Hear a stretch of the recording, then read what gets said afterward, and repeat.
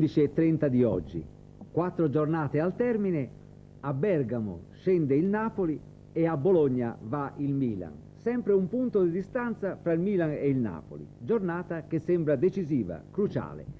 Alle 15.30 dunque a Bergamo fischia l'inizio il super arbitro Agnolin. Gianni Vasino per noi racconta la partita in breve. L'avvio è di marca atalantina. Al primo mischia in aria del Napoli, l'Atalanta però non riesce a concludere nonostante questo batti e ribatti. Sull'altro fronte, punizione di Maradona, fuori di poco. 27 Nicolini per Bonacina che poi manda dentro per eh, Evair anticipato al momento del tiro. 34 sul corner respinta di Giuliani con i pugni. Spara a contratto, c'è un'altra deviazione in corner e si passa al secondo tempo con Alemao scatenato. Mette in mezzo all'area dove però non c'è nessuno dei suoi a raccogliere. Ancora Alemao poco dopo. Eccolo che tira arriva in ritardo Carnevale. Sull'altro fronte Stromberg tenta dal limite e manda la palla oltre la traversa. Cross di Alemao ancora lui per Francini che di testa mette in mezzo scatta con un attimo di ritardo Carnevale e qui rivediamo. Alemao sta raccogliendo la palla. Viene colpito alla testa da una monetina che avete visto poco fa passare. Questo è un accendino era un altro oggetto. Alemao verrà sostituito da Zola. Eccolo. Il napoletano ultima azione. Maradona serve molto bene Carnevale che non riesce a girarsi per concludere Ecco, in questo momento Alemao è stato trasferito all'ospedale di Bergamo per accertamenti. Abbiamo parlato negli spogliatoi sia con i bergamaschi che con i napoletani. La versione di Mondonico è molto pacata. Ci ha detto c'era il miglior arbitro del mondo, non sappiamo che cosa potrà decidere. Per quanto riguarda invece De Napoli che era vicino a Alemao al momento del fattaccio ha detto ho visto quando Alemao è stato ferito sul capo gli sono uscite alcune gocce di sangue. Questa è la situazione in questo momento, un incidente che potrebbe, ancora per colpa di uno sconsiderato, far cambiare a tavolino il risultato di questo incontro, ma non solo, visto il pareggio del Milan, anche cambiare la classifica del campionato. Per quanto riguarda il resto della partita mi pare che a questo punto abbia ben poca importanza perché in realtà sul campo lo 0-0 era il risultato più giusto. A te Paolo Valenti. E adesso passiamo a quello che è successo nell'altro campo, quello di Bologna, dove il Milan scendeva in campo con qualche preoccupazione data la forza del Bologna. Anche qui grande parata di arbitri mondiali, arbitri internazionali, il fischio d'inizio a Lanese e Roberto Scardova è il nostro inviato.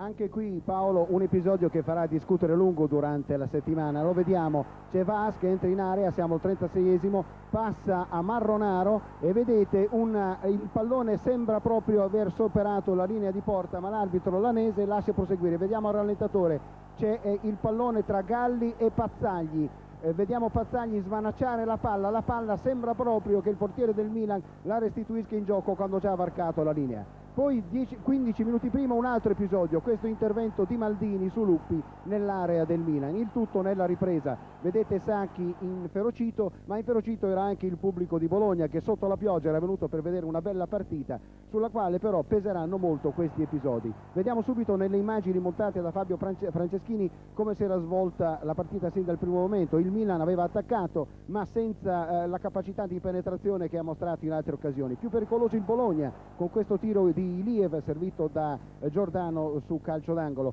Poi ecco Vas che eh, viene liberato in area, tira e Pazzagli esce e riesce a bloccare il tiro del bolognese. Replica il Milan, c'è questo tiro di Simone con eh, Cusin costretto a parare in due tempi sulla corrente Van Basten. Siamo, ecco vedete il potere del Milan. Il Milan nella ripresa accentua il ritmo nel tentativo di perforare l'attentissima difesa del Bologna, ma vedete eh, Villa spazzare su Rijkaard poi al, vedete intanto il primo cambio determinato da Sacchi con eh, Borgonovo che entra al posto di Simone. C'è questo eh, bell'intervento di tacco molto elegante di Van Basten costretto a cercare spazio a tutti i costi ma guardato a vista il milanese ha, eh, eh si è rivelato ben poco pericoloso. Poi ancora l'episodio lo facciamo rivedere di Maldini che interviene su Luppi, siamo al 25 della ripresa in seconda sostituzione decisa da Sacchi per accelerare il ritmo esce Donadoni ed entra un terzo attaccante, Stroppa ma è il Bologna che invece ha l'occasione più pericolosa. Vedete Vas servire al centro e Marronaro che è appena entrato colpisce forse di tacco e sfiora il palo. Lo vediamo dal basso ecco il colpo di Marronaro di testa in verità e la palla sfiora il palo. Poi ancora Vas che dà al centro per l'episodio di cui abbiamo parlato all'inizio. Marronaro urla a rigore ma non c'è niente da fare. L'arbitro lanese che abbiamo raggiunto negli spogliatoi ha rifiutato naturalmente di commentare questo episodio. Vedete Maifredi rappresentare con veemenza la ira dei propri giocatori. Ancora dal basso l'episodio, lo rivediamo. Galli un primo intervento, Pazzagli si fa sfuggire la palla e poi probabilmente, ecco questa è la spiegazione che danno i giocatori del Milan che hanno dato negli spogliatoi, Galli avrebbe subito un intervento alle spalle da parte di Maronaro e per questo avrebbe subito appunto un fallo, ma eh, l'arbitro alese comunque non ha interrotto il gioco, ha lasciato proseguire. Una partita che era iniziata sotto ben altri auspici, non quelli delle polemiche, due belle squadre che si sono affrontate con la, il modulo a zona entrambe e per una volta la zona ha dimostrato di saper eh, far produrre bel gioco. Il Milan è parso più infacciato, il Bologna ha aggredito i milanisti a centrocampo su ogni palla, non ha lasciato un centimetro di spazio, è stato più pericoloso il Bologna, il Milan certo ha un livello di classe che forse se il terreno fosse stato meno scivoloso, meno scivoloso data la pioggia avrebbe potuto esprimere meglio. In ogni caso un risultato che penalizza forse il Bologna e che fa riaprire eh, lunghe discussioni su questo campionato che fino all'ultimo minuto ci terrà col fiato sospeso. A te Paolo. Ecco, noi in chiusura di trasmissione, sempre a cura, come sempre, di Gabriele Tramontano per i rallentamenti delle azioni, rifaremo faremo ancora vedere eh, questi due episodi, sia quello di Bergamo e sia quello soprattutto eh, di Bologna. Naturalmente le partite sono terminate, voi lo sapete, da poco più di un'ora, quindi noi serenamente faremo rivedere le azioni per quanto possiamo per sottoporre tutto al vostro giudizio. È ovvio che non mancheranno le polemiche per questi 5 minuti di due partite terminate 0-0, 5 minuti che potevano forse mutare l'andamento del campionato. Comunque sempre serenamente faremo vedere ancora queste azioni e poi ci sarà tempo in settimana di fare commenti di tutti i generi. E adesso mh, la schedina, dopo questo inizio diremmo in corsa, lanciato. Allora, Ascoli Udinese 1-0-1, Atalanta-Napoli 0-0X, da notare il successo prezioso dell'Ascoli che vuole riagganciarsi sia pure in coda al gruppo di quelli che lottano per salvarsi, poi abbiamo di Atalanta-Napoli abbiamo già parlato, Bari e Lazio 0-0X, questa era l'unica partita fra squadre mh, tranquille, niente grandi aspirazioni e niente assolutamente timori. Poi Bologna-Milan 0-0X, Verona-Genoa 1-1X, prezioso questo pareggio del Genoa. Inter-Cesena 1-1X, ancora più prezioso questo pareggio del Cesena, mentre l'Inter non è riuscita a vincere, lo vediamo benissimo, non è riuscita a superare questo Cesena che è molto forte, avuto col suo Agostini, che ha segnato il pareggio. Juventus Cremonese 4 a 0, 1, Juventus a mitraglia come sempre, come spesso fa nel primo tempo, questa volta però non si è fatta raggiungere o perlomeno avvicinare la ripresa, poi Roma-Fiorentina 0 a 0, X, prezioso questo pareggio per la Fiorentina ma forse anche per la Roma che consolida la sua posizione per la Coppa UEFA, Sampdoria-Lecce 1 a 0, 1, la Sampdoria che affronterà il Milan venerdì in un anticipo mentre il, il Napoli riceverà il Bari in casa sabato. Eh, Sandore Lecce dunque 1-0, 1, poi in Serie C perché la Serie B oggi riposava, vedete Montevarchi Lucchese 0-0X, poi la vittoria del Palermo a Ischia per 2-1, 2, Forlì Rimini 0-0X, Riccione Vispesaro 2-1-1, classifica. Ecco, a tre giornate ormai dal termine, Milan 45, Napoli 44, Inter 41, Juventus e Sampdoria 40, Roma 37, Atalanta, Bologna 33. Bari 29, Lazio 28, Genova 26, Fiorentina, Cesena, Lecce 24, Cremonese, Udinese Verona 23, Ascoli 21. Abbiamo le quote Totocalcio? Non ancora? E allora continuiamo la nostra serie dei collegamenti. Dopo le due partite che impegnavano le squadre di testa, passiamo proprio ad Ascoli per questo Ascoli Udinese 1-0, Tonino Carino. Sì, è l'Ascoli che parte subito abbastanza forte con Cavalieri impegna il portiere Garella l'Udinese reagisce e ha un'ottima occasione al quindicesimo con Balbo. Ecco l'intervento di Lorieri, per l'arbitro tutto regolare. Poi al trentesimo il gol dell'Ascoli, un aerogol, giudicate voi se il mio giudizio è esatto. Seskovic, guardate cosa fa l'attaccante slavo in area di rigore, finta, colpo risolutore, è l'1-0, il gol partita. E passiamo al secondo tempo, al 33esimo è Orlando, colpo di testa al lato. Due minuti dopo l'Ascoli potrebbe raddoppiare, calcio d'angolo, pallone a Arslanovic respinto sulla linea da un difensore a due minuti dal termine è Galparoli che ha la buona occasione, il colpo di testa, la parata. L'Ascoli eh, quindi conquista due punti d'oro e mette veramente nei guai l'Udinese. Diciamo che è stata la guerra tra poveri. Ha avuto la meglio la determinazione dei giovani dell'Ascoli chiamati a sostituire in prima squadra ben cinque titolari. L'Udinese era venuta ad Ascoli puntando chiaramente allo 0-0, ha cercato di addormentare la partita poi ha subito il gol e non è riuscita a rimontare. Adesso anche lei naviga in un mare di guai. A te Valenti. Passiamo allo 0-0 fra Bari e Lazio. Franco Stripoli. Quindicesimo minuto di gioco, la Lazio è in avanti, Sergio avanza, lancia Marildo e solo in area Marildo, tiro del centravanti brasiliano e Mannini riesce a respingere. Passiamo al ventinovesimo, a fondo sulla sinistra di Carbone, cross e Fiori manda in calcio d'angolo. Dalla bandierina tiro tagliatissimo di Gio Paolo, il portiere della Lazio si salva con l'aiuto della traversa. Gio Paolo cerca di scuotere il Bari, vediamo il brasiliano ruba palla sul tempo a Bergodi, salta Soldà, poi è Marchegiani che lo mette giù ed è ammonito dall'arbitro Boggi di Salerno, oggi all'esordio in Serie A.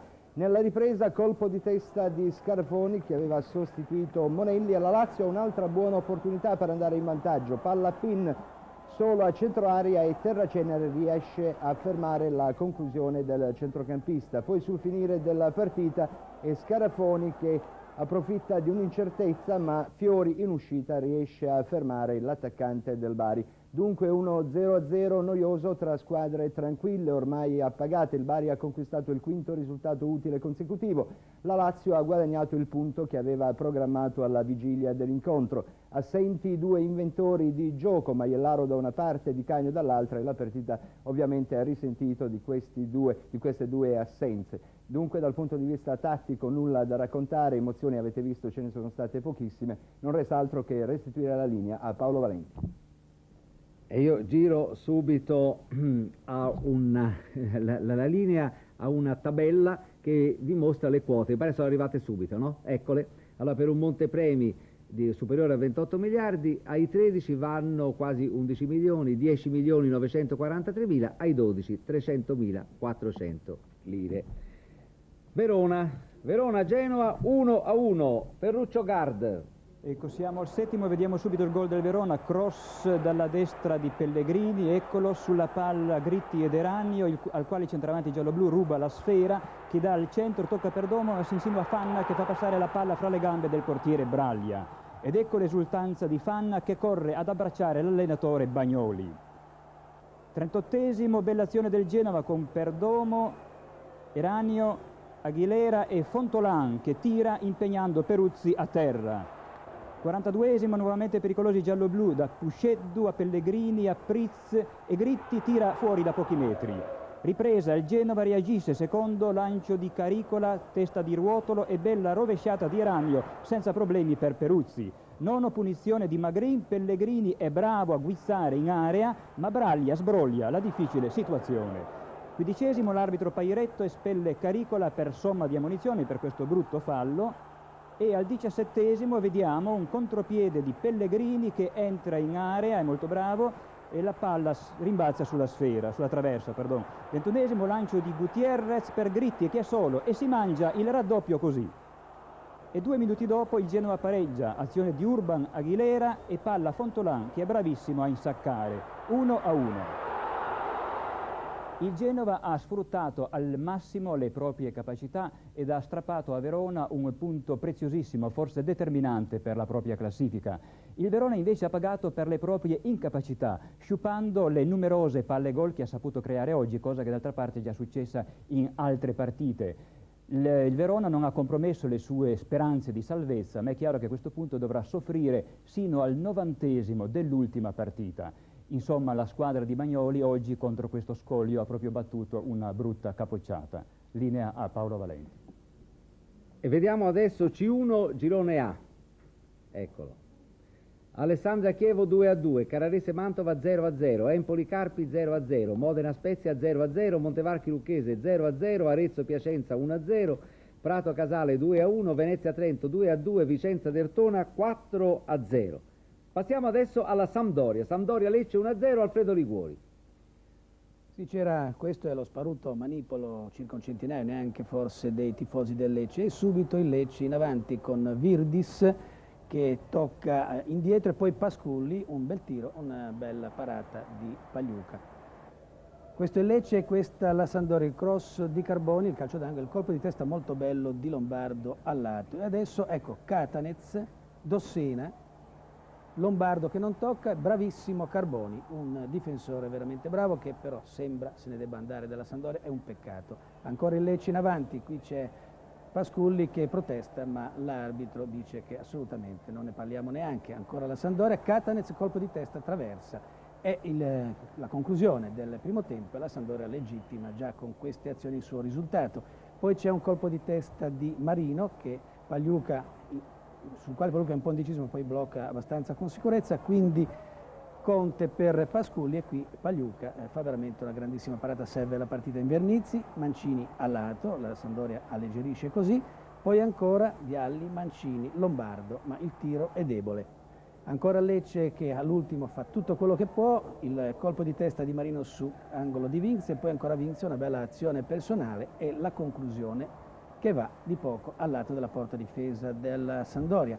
La porta del Lecce è vuota, c'è Terranio che va a fare anche l'attaccante, ma non c'è niente da fare. La eh, partita finisce sull'1-0, vince la Sandoria, perde naturalmente il Lecce. Un Lecce che ha meritato per la verità, un Lecce che ha giocato una buona partita, ma la Sandoria è stata come sempre superiore in casa, non ha mai perso la Sandoria quest'anno e vuole eh, superare questo suo record di imbattibilità. Una Sandoria che, ricordiamolo, ha giocato un po' meno bene del solito, perché Lecce ha intessuto un'ottima ragnatela, ha aggredito, ha raddoppiato le marcature, ma non, ricordiamo che nella Sandoria mancavano Pellegrini, Cereso e eh, in parte Mancini che era abbastanza dolorante, ha voluto giocare ugualmente e poi non dimentichiamo il turno di Coppa che nelle gambe dei giocatori lascia un po' di stanchezza. Bene, il Lecce a questo punto ha qualche problema in classifica, ma è, un, è squadra che dovrebbe farcela. La linea allo studio. C1, C1, girone B, eccolo. Brindisi Giarre ha vinto il Giarre sul Brindisi per 5 a 0, Casalano Salernitana, vittoria esterna della Salernitana 1 a 0. Catania Torres 1 a 1, Francavilla San Benedettese 2 a 0, Palermo Ischia 2 a 1, era anche schedina, Monopoli Ternana 2 a 0, Perugia Andria 2 a 0, Buteolana Taranto 1 a 1, Casertana Siracusa 3 a 1. E adesso veniamo Inter Cesena 1 a 1, Marco Lucchini. Dunque al sesto minuto punizione di Matteoli, palla a Berti che si porta al centro e poi impegna Rossi in tuffo. Altra punizione al 34esimo, Matteus respinge Rossi di piede, libera poi del bianco. Al quarantesimo punizione di Matteus, Gelain e Pierleoni rischiano l'autorete ma rimedia Rossi. Al quinto della ripresa Bergomi tocca di testa Berti e Serena un po' sgomitata da Gelain manda alto. Due minuti dopo, corner di Matteus, Serena di testa, alto. Al tredicesimo questa punizione di Domini sfiora la traversa. Al ventunesimo la rete interista è di Breme da fuori, stangata di sinistra e palla in rete 1-0. Tre minuti dopo i nerazzurri reclamano il rigore per questo fallo di Nobile su Bergamo, il fallo c'era anche se fuori area, comunque l'arbitro lascia correre. Al venticinquesimo Clisman, Berti e Rossi anticipa Serena. Poi al 31esimo Piraccini a Esposito, il tiro dal limite sfiora il palo. Infine al 35esimo un lancio di Nobile, controlla la palla Agostini che con l'involontaria complicità di Bergami, vedete, batte Malgioglio, parità 1 a 1. Eh, L'Inter ha mancato qualche buona occasione, è vero, ma eh, soprattutto ha partito più del previsto la difesa romagnola. Cesena con una certa decisione ha effettivamente imbrigliato il gioco attacco eh, offensivo nerazzurro poi in contropiede e con una certa dose di fortuna ha conquistato un preziosissimo pareggio. È tutto Lina Paolo Valenti. questo punto molti di voi come noi avranno riconosciuto l'orribile fondo del campo di San Siro, del Meazza San Siro. Speriamo che abbiano ragione gli ottimisti e che sia buono in occasione dell'apertura dei mondiali. Milano proprio si meriterebbe, oltre a un bello stadio, anche un bellissimo prato erboso e speriamo che ci sia al momento opportuno. Adesso eh, passiamo a questo pareggio 0-0 fra Roma e Fiorentina. Donatella Scarnati. Il pubblico del Flaminio ha applaudito a lungo Ciccio Graziani che proprio oggi ha esordito in campionato come allenatore della Fiorentina. Parte bene la Roma. Al sesto Feller cross di Mauro si tuffa ma non aggancia. Al ventiduesimo la prima occasione per la Fiorentina con Kubik. La Roma ha la possibilità di segnare al ventinovesimo grazie ad una staffilata di Conti, para Landucci. Subito dopo la Fiorentina reclama un rigore per questo atterramento di Baggio. L'arbitro in buona posizione lascia correre. Nell'ultimo quarto d'ora del primo tempo le occasioni migliori le ha avute la Fiorentina, al 36esimo in Nappi a dare spettacolo. Prima è fermato da Comi, poi salta tre difensori, eccolo, tira e Bertold manda in angolo. Al 43esimo ancora un brivido per i tifosi della Roma con Kubik che colpisce la traversa. Siamo al secondo tempo. Ecco Kubik che colpisce la traversa, siamo al secondo tempo. La Roma cerca il gol, bella triangolazione Giannini, Gerolin, Tempestilli solo in aria non riesce ad approfittarne. All'ottavo minuto cross di Bertold, Rizzitelli di testa ma il tiro è fiacco. Al diciannovesimo il rigore, Baggio atterrato da Bertold, protestano i giocatori della Roma ma Lobello concede il rigore che viene parato da Tancredi. In questa occasione l'arbitro ha espulso Giannini che aveva protestato. Roma dunque in 10, Fiorentina in evidenza, molto bello il tiro da fuori aria di Dunga che viene parato con bravura da Tancredi. La partita dell'amicizia, così come è stata soprannominata la sfida tra le formazioni di Radice e Graziani, si è dunque conclusa in parità. Un pareggio sicuramente amaro per la Fiorentina a caccia di punti che possano allontanarla dalla zona bassa della classifica, ma bisogna dire che il pareggio ci sembra un risultato giusto in quanto anche la Roma ha avuto diverse occasioni da gol. A proposito del rigore, una curiosità, in Serie A Baggio ha segnato 16 rigori consecutivi, il diciassettesimo, quello di oggi, lo ha sbagliato. È tutto, ti restituisco la linea Valenti. Grazie Donatella, adesso Totip, Totip, eccoci qua. Allora, prima corsa X1, seconda 1, 2, terza 2, 2, quarta X2, quinta X1, 2, sesta corsa 1, 2. Adesso veniamo all'ultimo collegamento e quello poi dopo faremo rivedere gli episodi così un po' controversi rallentati. Allora, Juventus Cremonese, questo 4 a 0. Beppe Barletti. È il secondo minuto, punizione di Alessio, salta bene Napoli ed è gol 1 a 0. Al tredicesimo sfiora il raddoppio la Juventus, c'è un'azione in velocità di Agostini Marocchi il cross e Barros sbaglia il gol da pochi passi. Diciannovesimo, secondo gol. Punizione, tocca Alessio Schillaci, gran destro, 2 a 0. Venticinquesimo, terzo gol sempre su punizione, è di Alessio che tira con molta precisione e beffa Violini. 34 minuto ancora su punizione, Pericolo stavolta per la, rete, per la, rete, juventina, il tiro è di Piccioni e centra il palo alla sinistra del giovane Bonaiuti esordiente in Serie A. Poi 37esimo per contrasto Schillaci Garzilli, Garzilli reagisce con un calcio a freddo, l'arbitro giustamente lo espelle. Secondo tempo, lancio di Galia per Casiraghi, il lancio è toccato, deviato da Gualco, è un assist prezioso per Casiraghi, collo sinistro ed il bomber juventino mette a segno. Ultima annotazione di questa gara, su azione di Limpar esce il giovane, lancio di Chiorri, esce il giovane Bonaiuti, Limpar mette quasi in rete il giovane Avallone, un altro giovane messo in campo da Zoffa nell'ultima fase di gara, salva. Una Juventus che tutti pensavano un tantino stanca dopo il faticoso 3 a 2 e pericoloso 3 a 2 contro il Colonia, invece la Juventus è andata a nozze. E sono stata una serie di punizioni favorevoli, ci sono i giorni in cui i palloni entrano e altri no, stavolta è andata molto bene, la Cremonese non ha fatto più di tanto, né forse può fare con l'organico che si ritrova e quindi Cremonese a battersi disperatamente per restare in Serie A e Juventus sempre al quarto posto, linea a Paolo Valenti. Grazie Beppe, adesso via al servizio di Tramontano col gli episodi rallentati che sottoponiamo al vostro giudizio e al nostro naturalmente.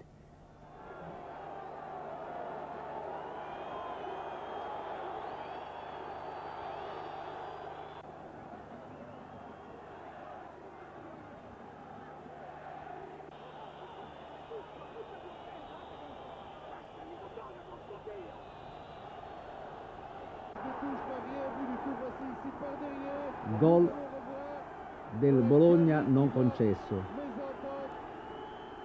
Da notare che era molto difficile onestamente per l'arbitro che stava alle spalle dei giocatori vedere sotto questa mucchiata.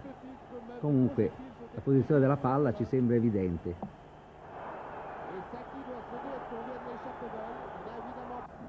Il diciassettesimo rigore battuto da Baggio e non realizzato.